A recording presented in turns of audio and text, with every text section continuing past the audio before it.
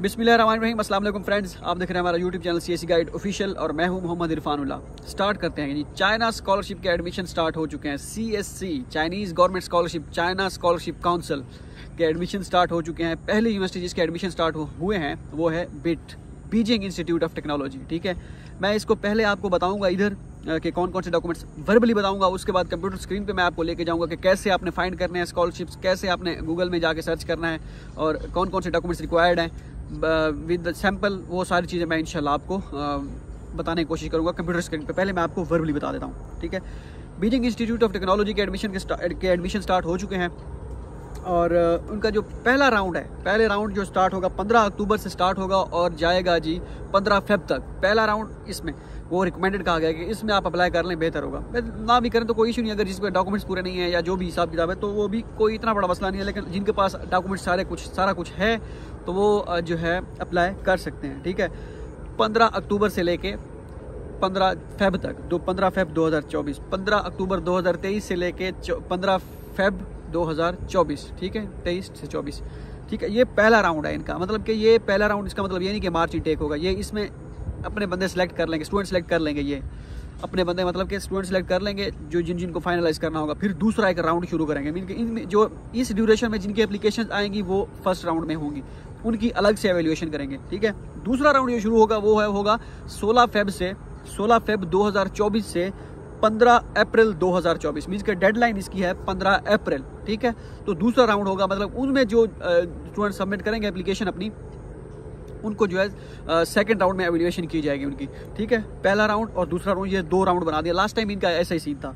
Okay हो गया। और जो सेल्फ के, ये स्कॉलरशिप के लिए था सी एस स्कॉलरशिप के जो अगर सेल्फ के लिए कोई करना चाहे, पंद्रह अक्टूबर से ही स्टार्ट हो रहे हैं और जून फिफ्टीन तक जाएँगे एडमिशन इनके सेल्फ पे। सेल्फ पे कहाँ करने वाले करते हैं?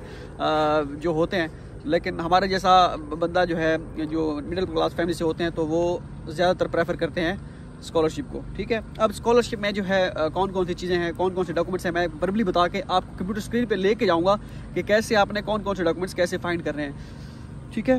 सी एस सी फॉर्म पहले आपने सबमिट कर फिल करना है। अब यहाँ पे बीजिंग इंस्टीट्यूट ऑफ़ टेक्नोलॉजी का यूनिवर्सिटी पोर्टल भी आपने फिल करना है फॉर्म उसका, और सी एस सी का फॉर्म भी फिल करना है, ठीक है? तो सी एस फॉर्म आपने कैसे फिल करना है, वो इस पर मैं ऑलरेडी लास्ट टाइम वीडियो बनाई थी, लेकिन इस मरतबा दोबारा भी मैं वीडियो बनाऊँगा अपडेटेड वीडियो तो वो इनशाला इस इस वेबसाइट पे पोस्ट लगाऊँगा वीडियो पे भी बनाऊँगा इस पर इसके बाद इंशाल्लाह फ़ौरन ही मैं सीएससी का फॉर्म और यूनिवर्सिटी का फॉर्म कैसे फिल करना है, वो सारी चीज़ें अब इंशाल्लाह मैं आपको बताता रहूँगा। सवालों के जवाबों को भी साथ कवर करते रहेंगे इंशाल्लाह, ज़िंदगी बाकी तो ठीक है? तो पहला सीएससी का फॉर्म हो गया। सी का फॉर्म जैसे ही फिल करेंगे सबमिट करेंगे। उसके बाद आएँगे यूनिवर्सिटी पोर्टल पे। यूनिवर्सिटी पोर्टल पे उनका अपना फॉर्म जो है वो सबमिट करेंगे। और छः छः सौ आर एम जो इनकी एप्लीकेशन फ़ी है, लेकिन वो इनिशियल रिव्यू आपका क्लियर होगा, आपकी एवेल्यूएशन करेंगे डॉक्यूमेंट्स की तो उसके बाद ही आप जो है फ़ी आपको पे करनी होगी। ओके हो गया? हो सकता है वो फ़ी मैक्सिमम स्टूडेंट्स को कहें, ये नहीं कि अगर आपको फ़ी का कहा जाए तो आपके लोहे पे लकीर एडमिशन हो जाएगा, लेकिन मोस्टली ऐसा होता है, अगर आप फ़ी पे करते हैं, जब आपको इनिशियल रिव्यू आपके डॉक्यूमेंट्स क्लियर हो जाते हैं तो आपका एडमिशन ऑलमोस्ट कन्फर्म हो जाता है, लेकिन श्योरिटी फिर भी नहीं होती। ठीक है?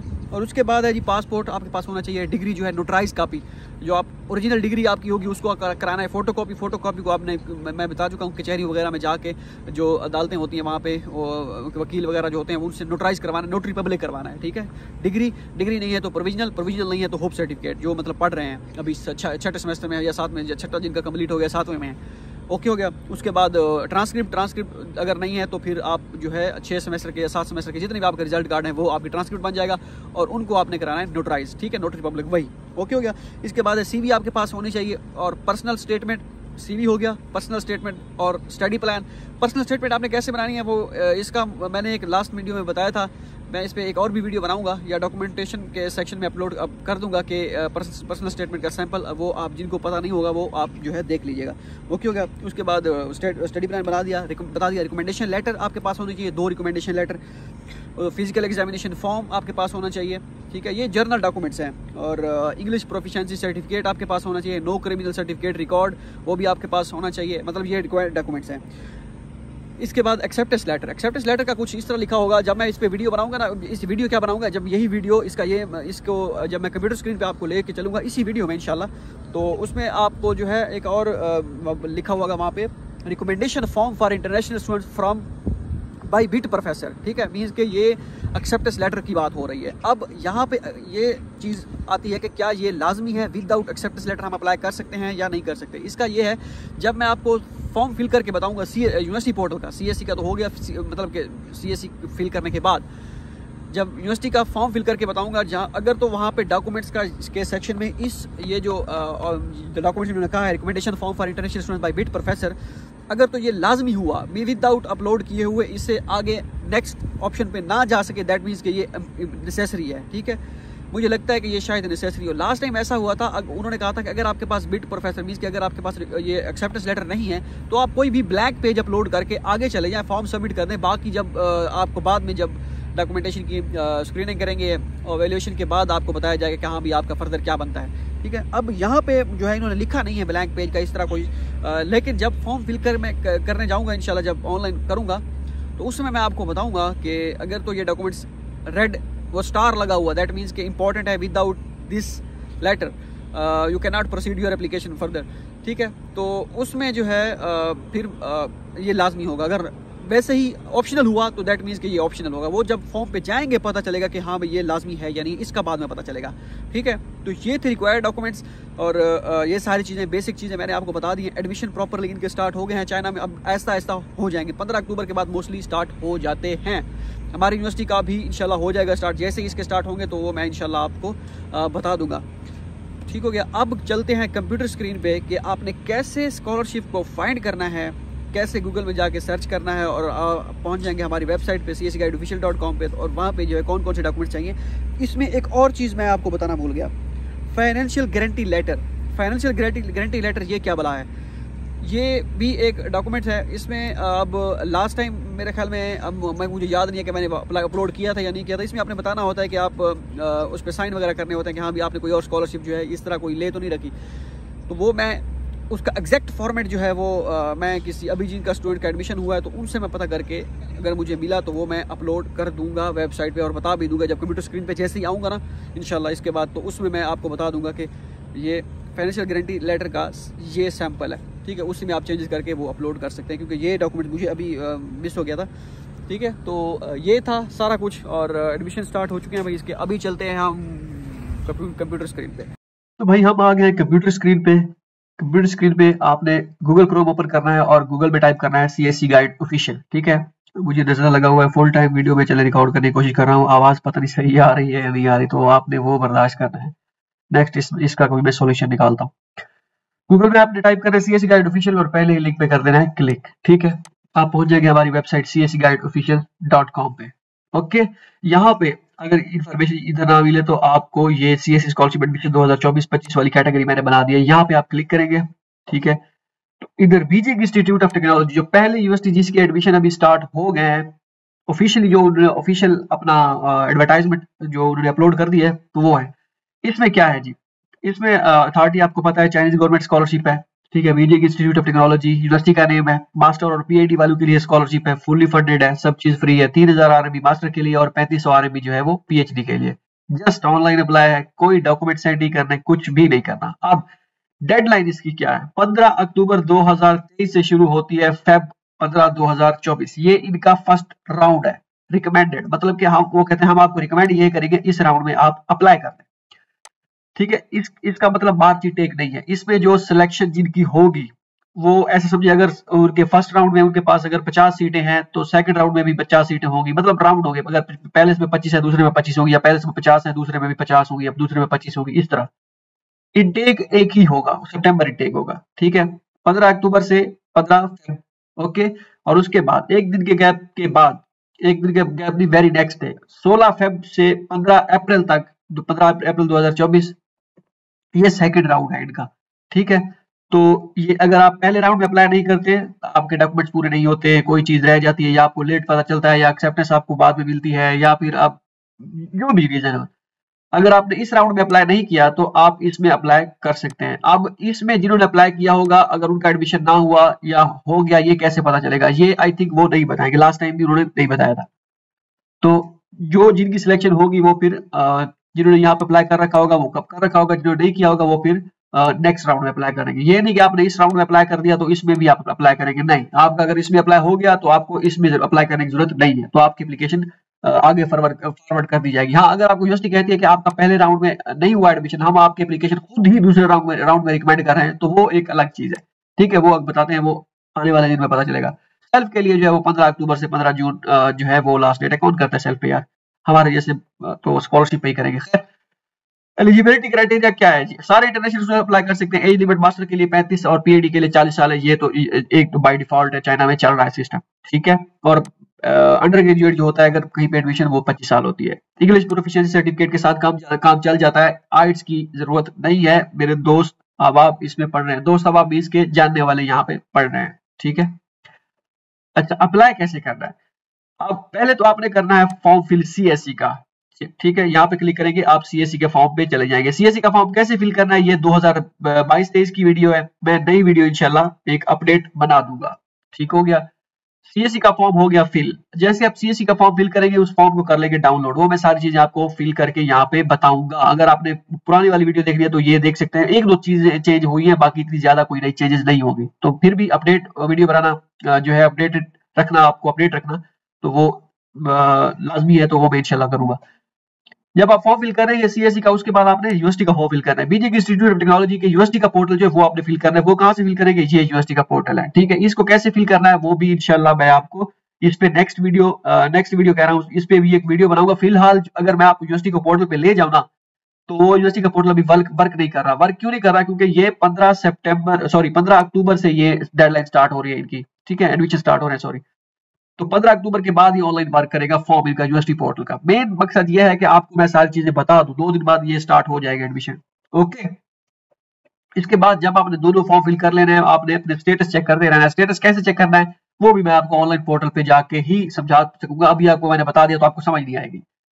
अच्छा अब 600 सौ आर एप्लीकेशन फ़ी है, लेकिन आपका क्या होगा इनिशियल जब आप सीएससी का फॉर्म फिल कर देंगे उसके बाद यूनिवर्सिटी का फॉर्म फिल कर लेंगे फिर आपके डॉक्यूमेंटेशन की वो स्क्रीनिंग करेंगे एवेल्युएशन करेंगे। उसमें अगर आपके डॉक्यूमेंट सारे क्लियर हो जाते हैं या अगर कोई मसला आ जाता है वो फिर आपको दोबारा कहेंगे ये आपका डॉक्यूमेंट ठीक नहीं है आप इसको दोबारा अपडेट करें।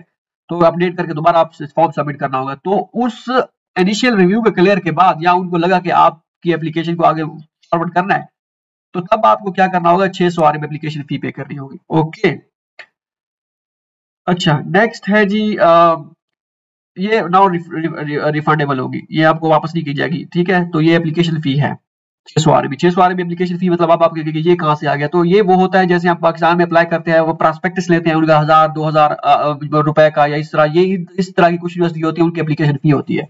तो ये आपने पे करना होता है। विदाउट विदाउट दिस आपकी एप्लीकेशन आगे प्रोसीड नहीं की जाती। ओके हो गया? तो इसका आपने छोड़ देना इसको आप छह सौ आरबी बाद में पे आपने करना होगा। हाँ जब आपको पे करने का कहें, इसका मतलब ये भी नहीं कि आपका एडमिशन कन्फर्म है, ये वो। लेकिन चांसेस बढ़ जाएँगे आपके जब, अगर आपको यूनिवर्सिटी छह सौ आरबी एप्लीकेशन फ़ी का कहती है। ओके, हो गया। सीएससी का फॉर्म आपने देख लिया कि यहाँ पे आप क्लिक करेंगे फिल करेक्ट करेंगे और यूनिवर्सिटी का पोर्टल यहाँ पे। ओके। अब आते हैं रिक्वायर्ड डॉक्यूमेंट्स पे। रिक्वायर्ड डॉक्यूमेंट्स कौन कौन से हैं? सीएससी का फॉर्म हो गया यू यहाँ पे आप क्लिक करके आप फॉर्म फिल करेंगे ओके हो गया। उसके बाद यूनिवर्सिटी का फॉर्म हो गया ये भी ओके हो गया, ये आप फिल करेंगे। नेक्स्ट है जी, आपके पास हाईएस्ट डिग्री होनी चाहिए नोटराइज कापी आपके पास वो होनी चाहिए। अगर आप छठे या सातवें सेमेस्टर में पढ़ रहे हैं तो आपके पास सर्टिफिकेट होना चाहिए ओके हो गया, वो भी नोटराइज होना चाहिए ट्रांसक्रिप्ट आपके पास होनी चाहिए, ठीक है। अगर आपके पास ट्रांसक्रिप्ट नहीं है तो छह सेमेस्टर के रिज़ल्ट कार्ड होंगे, उनके ट्रांसक्रिप्ट बनवा लें या उन्हीं को आप रिज़ल्ट ट्रांसक्रिप्ट के तौर पर यूज़ करें। उसके बाद स्टेटमेंट ऑफ़ पर्पज और स्टडी प्लान होना चाहिए और सीवी भी आपके पास होनी चाहिए, ये अपलोड करेंगे। स्टेटमेंट ऑफ़ पर्पज जो है, मैं इसका फॉर्मेट जो है, ये एक दो दिन में अभी स्टार्ट होगी एडमिशन तो मैं तब तक जो है, ये इंशाल्लाह स्टेटमेंट ऑफ़ पर्पज का सैंपल भी अपलोड कर दूँगा। ओके ओके स्टडी प्लान का सैंपल ऑलरेडी मौजूद है सीवी भी ऑलरेडी मौजूद है। अगर आपके पास खुद की सीवी है तो वो आप यूज़ कर सकते हैं। रिकमेंडेशन लेटर आपके पास होने चाहिए असिस्टेंट एसोसिएट प्रोफेसर और प्रोफेसर से। अगर एसोसिएट प्रोफेसर नहीं है डायरेक्टर या डीन वहाँ से बनवा ले। अगर एक डायरेक्ट डायरेक्टर है या प्रोफेसर है दूसरा असिस्टेंट प्रोफेसर है प्रोफेसर नहीं है तो असिस्टेंट प्रोफेसर का भी ओके है, कोई मसला नहीं है, चल जाएगा। प्रायोरिटी जो है वही यही है कि आप देखे प्रोफेसर एसोसिएट प्रोफेसर अगर नहीं है तो फिर असिस्टेंट प्रोफेसर इज़ ओके ठीक है स्टूडेंट्स के एक्सेप्ट हुए हैं। ओके पासपोर्ट कॉपी ये होनी चाहिए physical examination form blood test भी आपका साथ होना चाहिए। यहाँ पे ब्लड टेस्ट वो जो है लिखना भूल गया। ब्लड टेस्ट आप जब फ़िज़िकल एग्जामिनेशन फॉर्म बनवाएँगे ब्लड टेस्ट का सैंपल मौजूद है। अगर आप लिखे blood test blood test sample ठीक है? सीएससी गाइड ऑफिशियल गूगल में लिखेंगे कौन कौन से टेस्ट कराने हैं वो आपको यहाँ से मिल जाएगा। ये blood test report sample for China scholarship आपको ये ये वाले टेस्ट आपने ये वाले कराने हैं, ठीक है? किधर गया किधर गया किधर गया? ये हाँ ये इस तरह अगर आपको आप इसको प्रिंट कराएँ, अपनी डिटेल लिखें और ये सारी चीज़ें आपको जो है, ये ले जाए अपने हॉस्पिटल में, साथ जो भी आपका डीएच की टीएच की और जो भी पड़ता है वहाँ से आप जाएँ और ये टेस्ट करवा लें, ये जो, और उसके बाद स्टैंप और साइन यहाँ पे लग जाएगी। ठीक है तो ये आपका ब्लड टेस्ट सैंपल हो गया। Okay next English proficiency certificate आपके पास होना चाहिए। एच एस के जो है, आज अगर आपका मेजर चाइनीज़ में है तो एच एस के फाइव और एबव फॉर चाइनीज़ स्टार्ट और आइट्स मैंडेटरी नहीं है। ठीक हो गया। अदर सपोर्टिंग डॉक्यूमेंट्स में अगर आपके पास अचीवमेंट रिकॉर्ड्स कोई पब्लिकेशन वगैरह, वो सारी चीज़ें हैं तो वो आप यहाँ पे वो कर दें ठीक है recommendation letter for BIT professor international students by BIT advisor mean कि ये ये एक्सेप्टेंस लेटर है। अब ये एक्सेप्टेंस लेटर इसमें लाजमी है या नहीं है? ये जब मैं ऑनलाइन फॉर्म पे जाऊँगा ना, दो तीन दिन बाद इंशाल्लाह, जैसे ही वो पोर्टल उनका वर्क करेगा ओपन तो उसमें मैं जाके बताऊँगा कि ये वाला डॉक्यूमेंट कंपलसरी है या नहीं। लास्ट टाइम तो था कि उन्होंने कहा कि ब्लैंक पेज अपलोड कर दें तो आपका ये, आप, आपके एप्लीकेशन आगे प्रोसीड की जाएगी। इस मरतबा हो सकता है उन्होंने ऑप्शनल कर दिया हो, या फिर हो सकता है उन्होंने जो है जो है, लाजमी कर दिया हो मैंडेटरी कर दिया हो। ब्लैंक पेज वाला ऑप्शन नहीं है। ओके फाइनेंशियल गारंटी लेटर ये भी मुझे लगता है ऑप्शनल है। मैंने एक स्टूडेंट से पता किया है, वो उन्हीं का एडमिशन इसी यूनिवर्सिटी में ही हुआ है। तो मैंने उनसे पूछा कि ये मैंने, मुझे लगता है कि मैंने आपको बताया था कि ये आपने क्या अपलोड करना, आप मुझे बताया मैंने आपको क्या बताया था? उन्होंने कहा कि वो आपने जो बताया था, वो दूसरी यूनिवर्सिटी का बताया था, इस यूनिवर्सिटी में नहीं था। तो अच्छा मैंने कहा, चल, वो कहा, आपने अपलोड नहीं किया था, उन्होंने ये कहा था। अब हो सकता है ये ऑप्शनल हो या नई चीज़ डाल, नई चीज़ डाली हो। लेकिन जब मैं इसके यूनिवर्सिटी पोर्टल के फॉर्म पे जाऊँगा इंशाल्लाह, उस वक्त ये मैं देखूँगा आपको बता सकूँगा कि ये मैंडेटरी है या ऑप्शनल है, या ये स्कॉलरशिप के लिए नहीं है या ये सेल्फ वालों के, क्योंकि जो पोर्टल होता है ना इनका ऑनलाइन वो स्कॉलरशिप और सेल्फ दोनों के लिए होता है। ओके अब हो सकता है ये सेल्फ वालों के लिए और डॉक्यूमेंटेशन में, बस ये स्कॉलरशिप वालों के लिए ना हो, जब जब फॉर्म पे जाऊँगा चला मैं आपको बताऊँगा अदर सपोर्टिंग डॉक्यूमेंट्स ये वही है ना पेपर्स वगैरह अगर आपके पास है तो। नो क्रिमिनल सर्टिफिकेट रिगार्ड बीस के पुलिस क्लियर सर्टिफिकेट भी आपके पास होना चाहिए। यहाँ पे आप जो है ये क्लिक किया to get the your major ये मेजर की जो है वो लिस्ट आप देख सकते हैं ठीक है? तो ये आप देख लीजिएगा कौन कौन से मेजर है। ओके यहाँ पे आप क्लिक करके ऑफिशियल जो है आ, इनकी एडवर्टाइजमेंट देख सकते हैं। ये पिछले साल की मैंने वीडियो बनाई थी वो भी आप यहाँ पे नज़र दौड़ा सकते हैं अगर दौड़ाना चाहें तो। ठीक है? ये है जी ग्रेजुएट प्रोग्राम्स बेजेस वगैरह सारा कुछ इसमें दिया गया है मास्टर के लिए ये है और पीएचडी वालों के लिए ये है और चाइनीज़ टॉट जो है ये है।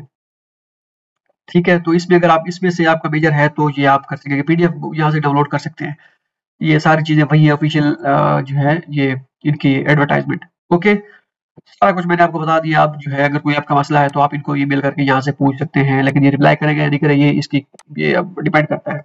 ओके होप सो ये वीडियो आपके लिए फायदामंद साबित हो और कीप इन टच हमारे साथ जुड़े रहिए। अगर आपको लगता है कि आपको इन्फॉर्मेशन यहाँ से मिलेगी तो आप जुड़े रहिए। सब्सक्राइब का मैं बिल्कुल नहीं कहूँगा भाई। वो आपकी अपनी मर्ज़ी है, क्योंकि जो आपका राइट है, वो आपका राइट है। हाँ मैं आपको नहीं कह सकता कि आप आके सब्सक्राइब करें। हाँ कल को आपको जो है कोई वीडियो जो है मैं जो है वीला अपलोड करता हूँ, या आगे पीछे कोई और इन्फॉर्मेशन शेयर करता हूँ, आप कहेंगे कि भाई, हमने तो इस ये इन्फॉर्मेशन हासिल करने के लिए तो सब्सक्राइब नहीं किया था, हमने तो जो है स्कॉलरशिप के लिए किया था। तो इसी वजह से मैं नहीं कहूँगा सब्सक्राइब करें। हाँ अगर आपको लगता है कि इन्फॉर्मेशन आपको सही लगती है, या ऑफिशियल मतलब ऑफिशियल कह रहा हूँ आने वाले दिनों में आपको इन्फॉर्मेशन मिलेगी तो फिर आप कर लें। आप जो करना चाहें सब्सक्राइब करें या ना करें, वो आप पे डिपेंड करता है। ओके मिलते हैं अगली वीडियो में। दो याद रखिएगा। अल्लाह हाफिज।